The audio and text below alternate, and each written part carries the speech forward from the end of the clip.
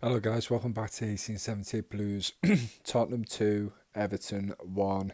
Just before we get into this match reaction, if you can like, comment, subscribe, let's hit 800 subs before Christmas Day. Don't think it's going to happen to be honest, but this defeat, it's not embarrassing defeat. Uh, maybe that would have got me more views and subs, but listen, at the end of the day, it's a, it's a, tough defeat to take um, in terms of we actually played very well. Um, I won't lie to you, I haven't watched the game. Um, I've just seen the highlights and heard a few reports there and there, but um, I'm not going to go a big debrief, uh, big brief about the game. Um, but yeah, it's it's a it's a tough pill to swallow. I think it's one of them games where it did feel like the start of the season again, where we probably did deserve to take something from the match um, and we didn't. And you know, small, um, you know, small margins. That's that's really it. And that's the reality of football. Sometimes I'm gutted that we've lost. You know, um, based on how we played. Know, if we deserve to lose, we deserve to lose. But a lot of people I've seen in the comments, a lot of Spurs fans reacting that we should have got something from the game, and it's it is frustrating. But um, you know, you're not going to win them all. We're not going to carry on the clean sheet thing. Uh, you know, the little run we're on, and we're not going to like um, we're not going to continue on the the form in terms of the unbeaten run as well that we're on. You know, if you told me if you're going to win in the next six games, four wins and two losses, I would have bit your end off. Um, and we didn't get battered. You know, it's mad because we've apart from the Villa game, I'd say this season, we haven't been battered by anyone. United score, uh, United winning 3 0, absolutely flattered them. Absolutely flattered them. We should have even got something from that game, which is crazy to say when you've lost 3 0.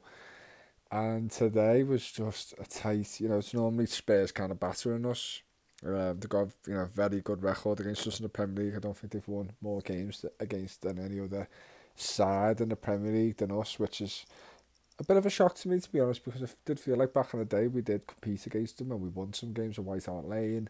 Um, we won a lot at home as well, but clearly not um, in terms of the record books and especially in the num past number of years, apart from the 1-0 win at the ground in the COVID times. Um, we've had a really poor record against them. Uh, you know, we had the Michael Keane last minute equaliser or whatever it was, maybe last season or a few seasons back. Um, but yeah, we had the we have a poor record against them, and you know it was very worrying. You know, Richarlison scoring against us in the ninth minute, which is something I actually said in me match preview that I think you know he's going to score. Um, and I could have put a bet on that to be honest, but you know I'm not really a betting man. But yeah, it's just not because of what he scored. You know his little form recently, if you could say that. It's just I just had a feeling he'll score against us and he did celebrated and then realised who he was scoring against and yeah, kind of stopped, um, which I respect. I haven't really seen anything off him on Insta. I haven't looked, so I'll have a check after this video and see if he's put anything up about the Everton fans. But I think there was a video that he was clapping towards the Everton fans at the end. He's never really had a proper goodbye, which is sad. Um, and I still miss Richie, you know, I'd love him to come back to the club, but yeah, you know, at the end of the day, he's got to progress with his career. Um, um, but yeah, uh, he scores 1 0 up, and then shortly after, about nine minutes after, um, Son scores another goal against us, which is something I'm not, um, you know, I'm used to. Uh, poor from the defence, poor from the defence at the time. Uh, just all ball watching really, and not really seeing Son was on his own and you know just smashes it into the net, two 0 down, bit worrying. I think they had a chance before that or after as well. Um, but we looked all over the place in the first half an hour. Um, a bit shell shocked. I think the plan's out the window then. Um, with Dyche, you know, he hopes to stay in the game a lot longer, and then you know his tactics really come into play then. Uh, to, you know, to concede in the first 10 minutes is an ideal for them, and then again a second and 18th minute. Now, what I'm proud about this team is, you know, uh, last season or a few seasons back, we would absolutely crumble at the thought of being 2 0 down in the first 18 minutes against a side we never seemed to beat, or we rarely beat. Um, and you've got to give credit to the lads that they stuck in. Um, we had a disallowed goal, watched it back, 100% disallowed, you know, to me, in my eyes, you know, Andre Gomes clearly fouls him. He comes on for a just a guy. I think he picked up an injury. Um, and Andre Gomes apparently played very well, which is an absolute shock. You know, there has been times in his Everton career where he's gone, he's had a really good game. One notable one for me, really. Um, as I, as I watched the full game, you know, he might have had other good games, you know, where three o'clock games where you don't see him as much or you don't see the full match. But you, I remember I think it was in lockdown when we that season with Ancelotti and he was fantastic against Sheffield United away. Absolutely unbelievable. I honestly was thinking, have we got Andre Pirlo in the mid in the midfield and Andre Gomes? He was unbelievable. I couldn't believe what I was watching. I was I remember watching with my dad going, Where does this come from? Sorry, where's this come from? This is like he's long ball pingers everywhere. He's he's gone past a couple of men each time he's on the ball. He was glad gliding. He looked unbelievable. I was like, wow, what a baller. And then he's just been Andre Gomes ever since, the original. Um, but apparently played well today. Uh, but yeah, he, he, he did foul. Um, I can't remember who it was, one of the Tottenham players. And it was a great finish by Calvert-Lewin, um, which is a shame because it would be good to see him back in the scoring books again. Um, even though he's still reasonably playing well up front, just not scoring. It's still good to see him score though. Uh, but listen, hopefully that gives him a bit of confidence. You know what I mean? He did actually finish the chance, so I don't know if that does anything for him. Um, but yeah, still 2 0, Guttering. And yeah, we had, we, I say after the half an hour, it just seemed like it was a lot of Everton, um, really. And, you know, you could say we were unlucky to come away with nothing. Um, there probably was a few chances in between, but um, before the Everton goal in 82 minutes, Andre Gomes, what a strike.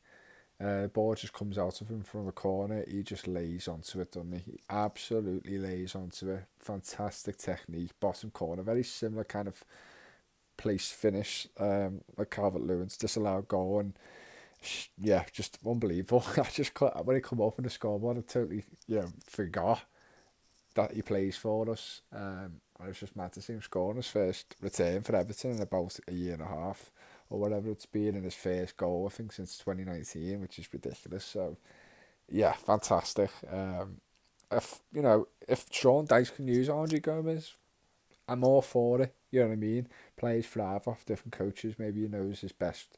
Maybe Dyche is just a really good coach and knows how to get the best out of a player. And maybe Andre Gomes is, and that'd be fantastic because it'll just feel like a new signing. It'll feel, you know, just bulks up the squad a bit more. We've still got the two goalkeepers on the bench, which I think is an absolute shambles for the Premier League club to have.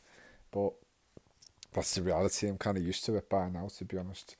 Um, but yeah, just that. Um, and the Danjuma, I think this is why he just doesn't start games. He just doesn't make the right decision a lot of times. It's very key times as well. You know, he's, he's running onto the ball. You've got Beto on the side of him, screaming for the ball, basically. And I think, that, to me, such a simple pass to Beto, if you're a good footballer and you know what you're doing. Simple pass to Beto, and I would have hoped, I know their goalkeeper's a very good goalkeeper and played well today, but I just hoped that Beto would have finished that off.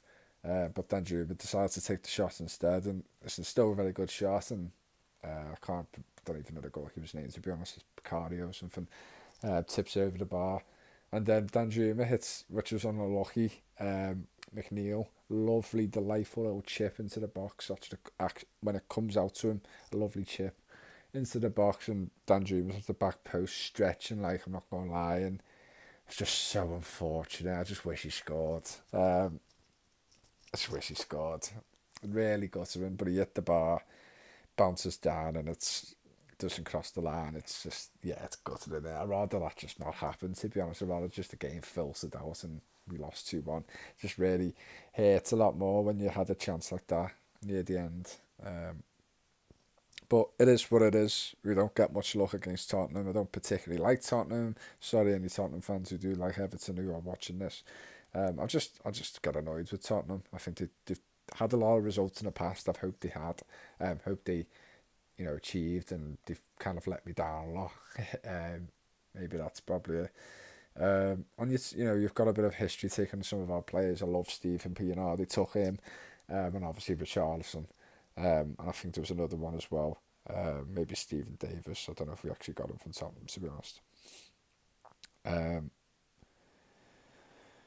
but yeah, listen, we've lost. I don't think Tottenham are going to be too happy in terms of their performance, and you know it's not going to fill them much with confidence, even though I think this it's their third win in a row potentially. Uh, I think I can't remember. Um, but back to the drawing board. Well, not really to be honest. We get we've got fucking Man City next, and I just can't see now a City dropping a point again. Not again, but in such a short space of time. I feel like they haven't won a game in the Premier League in ages, Man City, and I just can't see us beating them. I'm not gonna lie.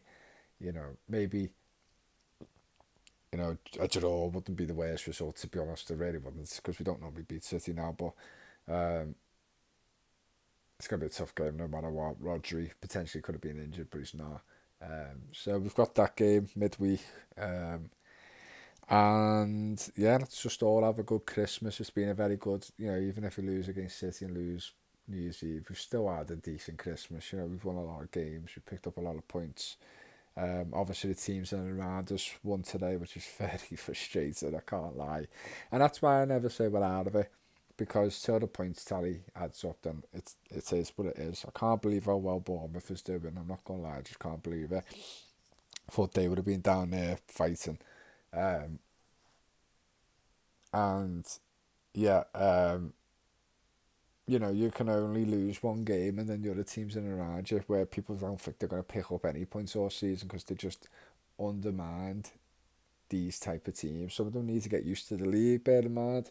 And some of them are not as bad as people think. They just lost a lot of games, but they're being fairly unlucky. Um, and, you know, I'm talking about Luton, the likes of Luton there. But yeah, all these teams have picked up points, a couple wins down there. And, you know, it's again, it's it's it's tight again down down there again. Um, we're still 16th, I think. Um, but you know the gap is is is gone down to like four points now. So, you know, again, there's a likelihood that we'll get beat by Manchester City, and it could go to a point. You know, it gets it gets nitty gritty time again, and um, it's been fantastic the rides we've been on in the past month or so. But you know, we've got to be real real here. I think us uh, we played well today. That's this is what we've got to get out of it. We've lost the game, yes. It's annoying, yes. Ten points deduction, yes. But we're actually playing well, though. We're actually, you know, there's a lot of these games where people say we're well, better than the other team, and it's just nice to hear because normally we're absolutely dreadful. What in the, in recent years we have been, so we're unlucky today. It's not been a battering like the five 0 last year. I think it was um, you know, you've got to, you've got to take it positively, you know what I mean? Um, guttering obviously to concede again and guttering to lose away from home, but it is what it is. Um, I said, going to the Manchester City game, you can't just think you've lost already before going into that and just see what we can get out of it. And this has been a tough little week of fixtures come at us, but um, yeah, Uh, just got to crack on, move on. There's game, winnable games out there. The way we're playing, I just love the way we're playing at the moment. So I just think we're a just complete different team, unrecognisable team. Um, and we've just got to keep that thought in our minds that we are we are a good team and we are competitive and a lot of people are liking us this year and thinking that we can finish in Europe, which is not going to happen. It's not. Um, but possibly a top 10 finish, which will which would be crazy. Um, but yeah, you know, normally I'm down and whatever. I obviously want us to pick up as many points as possible. Um, I don't want to be in a relegation scrap towards the end of the season. It's too stressful. But um, I'll be, you know, I'm a lot more positive. Um, this probably the most positive I've ever been after a loss in, on this channel, probably to be honest.